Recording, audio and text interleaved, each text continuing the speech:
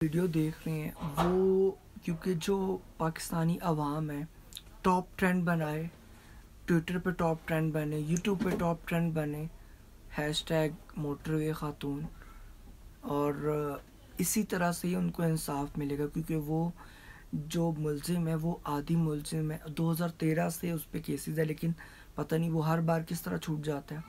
तो हम आवाम आप, मैं अपनी वीडियो के तवसत से ये कहना चाहता हूँ कि अगर हम आवाम उनका सपोर्ट हम उनकी सपोर्ट नहीं करेंगे, कल को हमारे साथ ये वाक़ पेश आता है तो आप ये देखें कि वो पूरी उनकी लाइफ किस तरह से, ठीक है, मान लेते हैं कि उनको सज़ा भी मिल जाएगी, उनको सब कुछ हो जाएगा, लेकिन जो ख़ातून है, उनकी जो ज़िंदगी है, उनके बच्चों की जो ज़िंदगी है, वो किस तरह से वो गुजारेंगे, और जब भी उस वाक़े के बाद कितना खौफ का शिकार होंगे वो, सिर्फ़ इस चीज़ को इमेजन करके देखें तो इस मोटरवे इंसिडेंट्स को टॉप ट्रेंड बनाएँ ख़ासतौर पे ट्विटर पे, ख़ासतौर पे यूट्यूब पे फेसबुक पे, इसी तरह ही हम उनको इंसाफ दिला सकते हैं।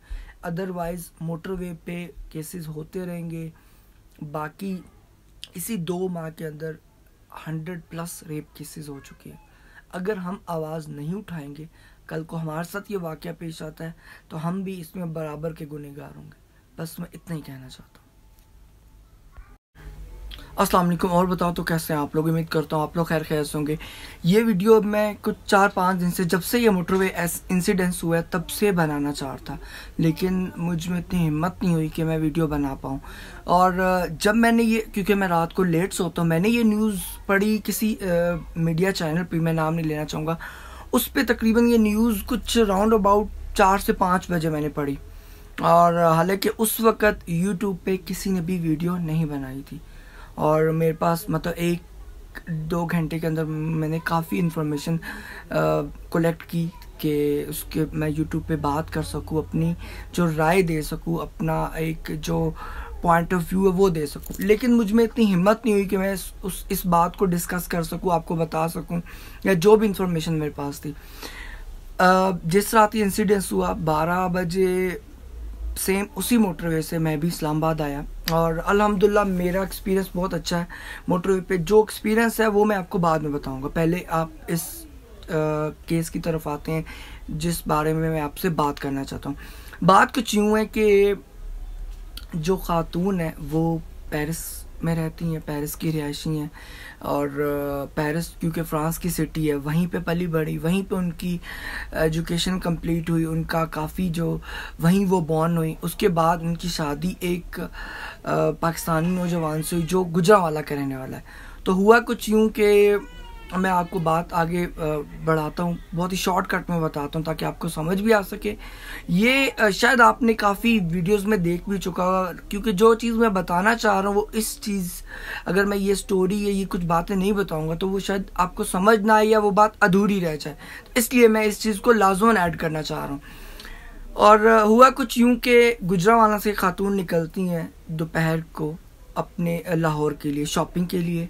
और कुछ गालबन शाम में वो अपने घर जाती हैं। घर से मुराद के जो उनके लाहौर में पेरेंट्स का घर है।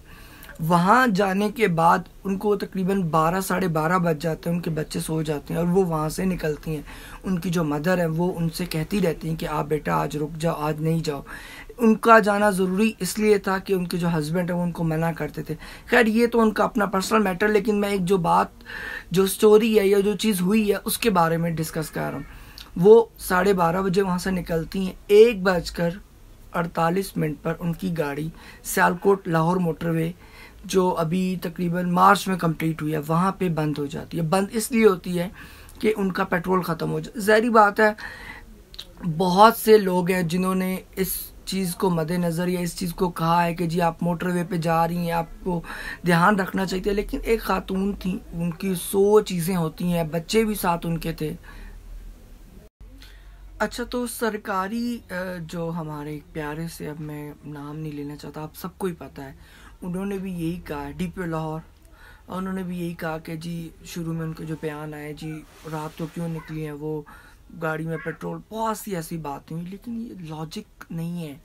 जो मेन लॉजिक है, वो ये है, उन खातून ने जब वन थ्री को कॉल की, ये जो एरिया जहाँ उनके साथ रेप हुआ या जहाँ उनकी गाड़ी खड़ी थी उससे आगे दो किलोमीटर, उससे पीछे दो किलोमीटर। ये गुजरपुरा का जो एरिया है, साथ में कुराल गाँव है, काफ़ी एरियाज़ जो है, इसकी साइड पे आते हैं। मतलब इसकी लेफ़्ट साइड पे आते हैं।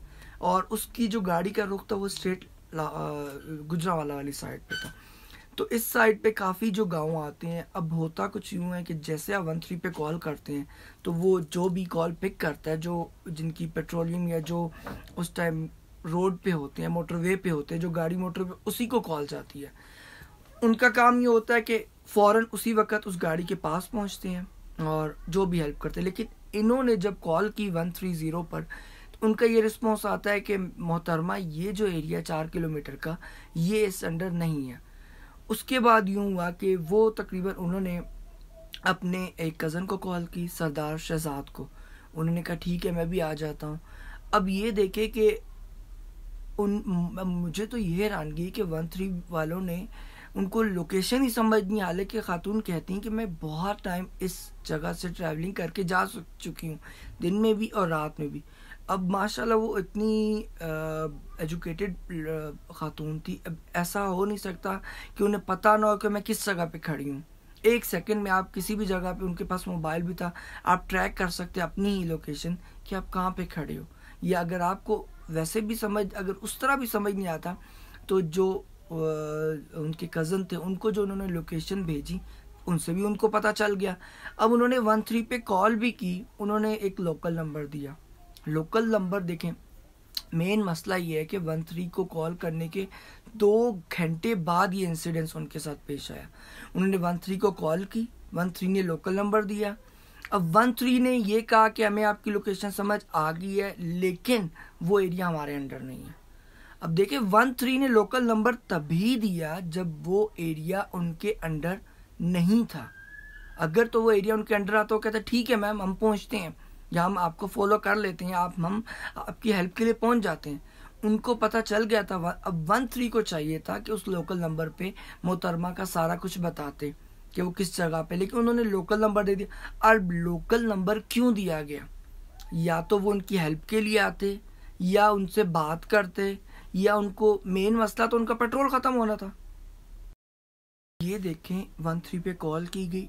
मोटर वालों को उनकी लोकेशन पता चल गई, लेकिन उन्होंने, जब उनको लोकेशन पता चली तो उन्होंने कहा कि भाई मोहतरमा, ये जो चार किलोमीटर का एरिया है, ये हमारे अंडर नहीं है। दूसरी बात जो लोकल नंबर प्रोवाइड किया गया, उस पर उनको लोकेशन समझ आई, हर चीज़ आई, लेकिन ना पुलिस आई, ना लोकल महकमे ने, एक तो मोटरवे एक होती है पेट्रोलियम जो गश्त करती है या जो मोटरवे के साइड पे एरियोज एरियाज़ पे होती है, ना वो आई। अब ये देखे कि किसी ने भी उनकी इवन के मियाँ सरदार जो उनका कज़न था, उनको भी उन्होंने कॉल की वो कहते जी हम पहुँचते हैं। उनकी तरफ़ भी कोई सही रिस्पॉन्स अगर सही रिस्पॉन्स होता गुजर गुजरा वाला और जो खातून की लोकेशन थी इसका जो रास्ता है कम अज़ कम अगर अच्छी गाड़ी हो तो 20 से 25 मिनट में आप आ सकते हैं। और रात ही चुके तो रात में ट्रैफ़िक ही कम होती है तो 25 मिनट आधा घंटा कर लें। क्योंकि ये जो रेप की वारदात हुई है ये उनके साथ दो घंटे के बाद हुई है। जो आ, बाकी जितनी भी एनालिसिस हुई हैं जितनी भी चीज़ें चेक की गई हैं क्योंकि दो घंटे तक वो खातून वहाँ पर खड़ी रही।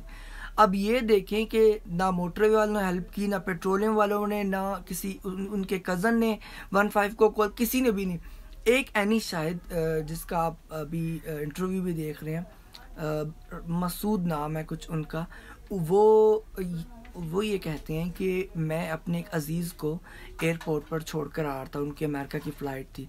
मैंने देखा कि एक खातून के पीछे एक आदमी भाग रहा है और एक जो बंदा है वो दो बच्चे लेकर भाग रहा है। और मैंने कहा कि पता नहीं मतलब ये सुनसान एरिया में क्या शायद को डकैती की वारदात होगी। है उन्होंने कॉल की, उन्होंने बार बार कॉल की, चार से पाँच बार कुछ।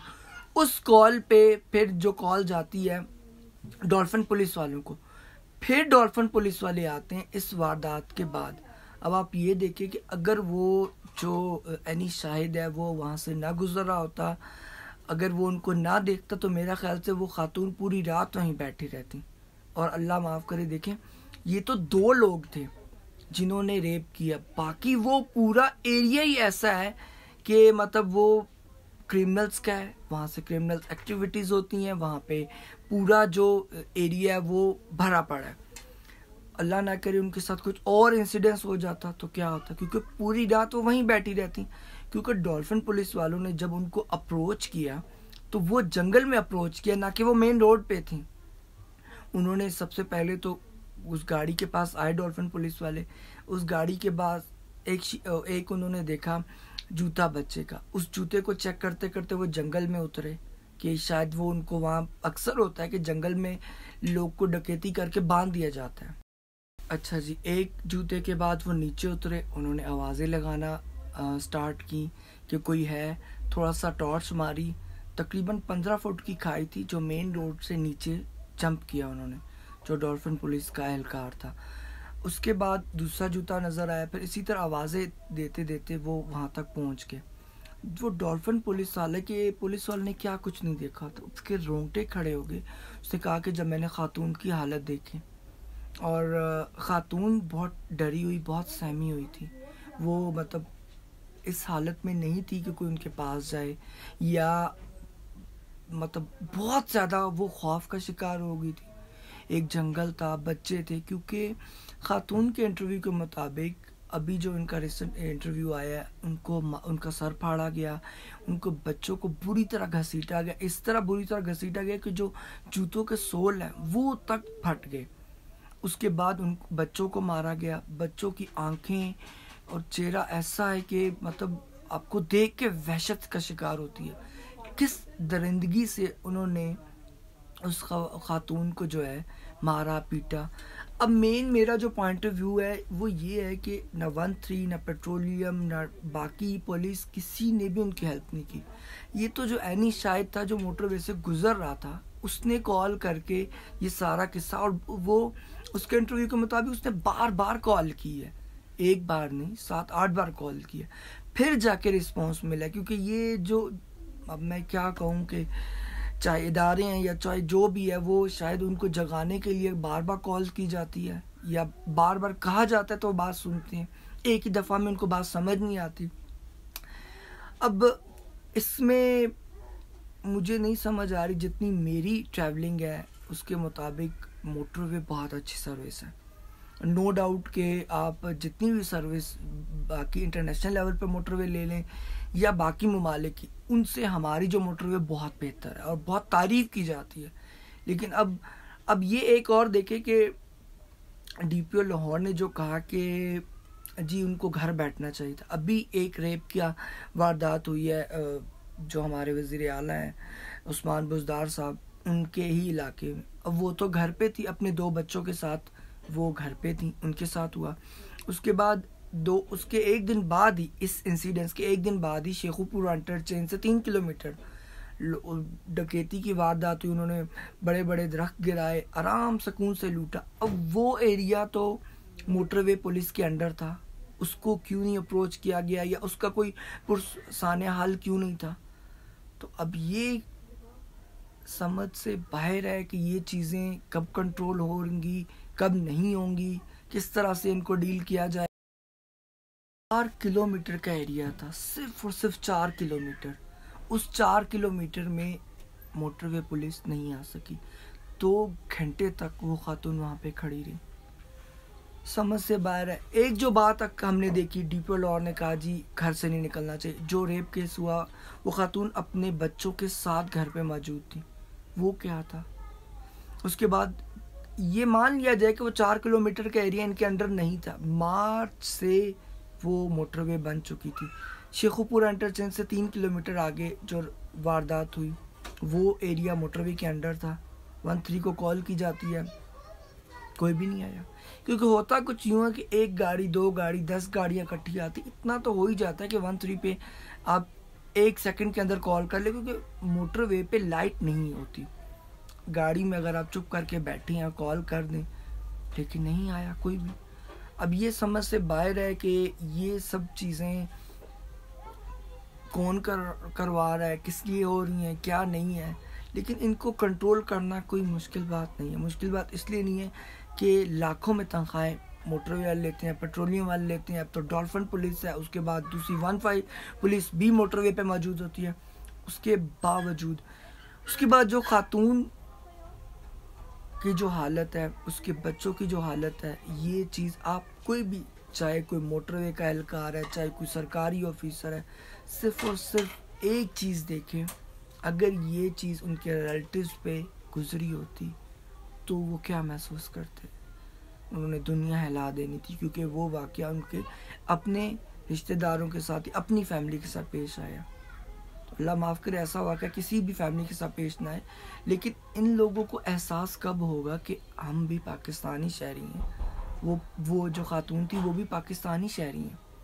हम अक्सर मोटरवे या बाकी जो पुलिस है, वो कहते हैं, जी, कोई बात नहीं। उनकी, उनका तो ऐसा है जैसे ये रोज़मर्रा के काम है। लेकिन वो उनको एहसास नहीं होता।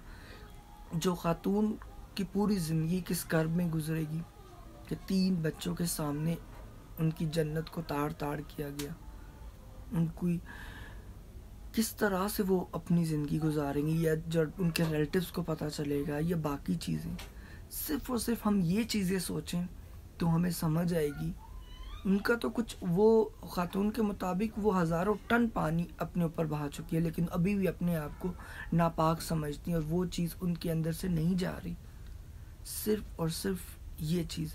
और फिर जब 2013 में उस बंदे को पकड़ा गया तो क्यों नहीं उसको मतलब वो कोई नॉर्मल बंदा नहीं था, उस पर हज़ारों केस हैं। खैर, अल्लाह खैर करे।